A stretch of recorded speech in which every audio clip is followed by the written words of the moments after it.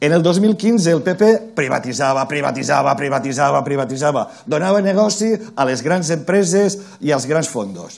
2023. Nosaltres hem recuperat la sanitat pública per a la gent.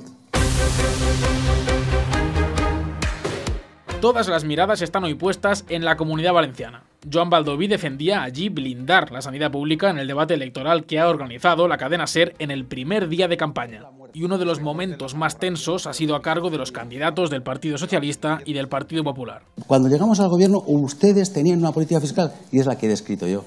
¿Quién se va a creer ahora que van a cambiarla? Pues mire, yo acabo de eliminar el impuesto de actividad económica en la Diputación de Alicante mientras usted votaba a favor de la tasa turística. Y yo he puesto encima de la mesa una reforma fiscal en la que las rentas medias y bajas van a ser las que menos impuestos paguen de toda España. ¿Sabe lo que es el impuesto a la muerte?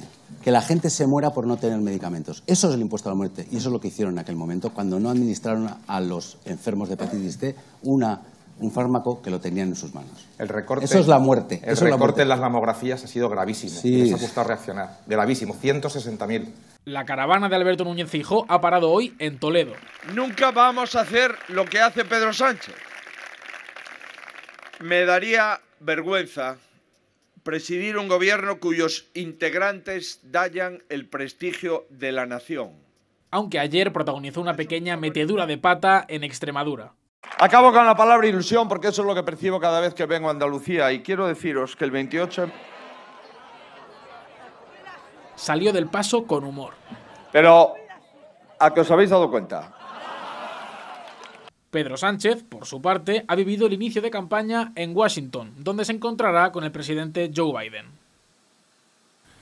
Over the years, we have always enjoyed her support in articulating the convergences between the European Union, its member countries, and the Uni- United States.